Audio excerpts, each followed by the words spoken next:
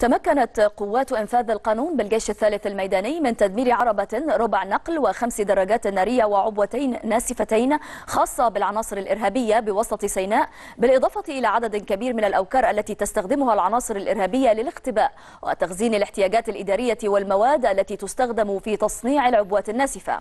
ذكر بيان للمتحدث العسكري أنه تم ضبط كمية من المواد المخدرة على أحد المعابر المؤدية إلى وسط سيناء. هذا وتواصل قوات الجيش الثالث الميداني جهودها للقضاء على العناصر التكفيرية والإجرامية بوسط سيناء.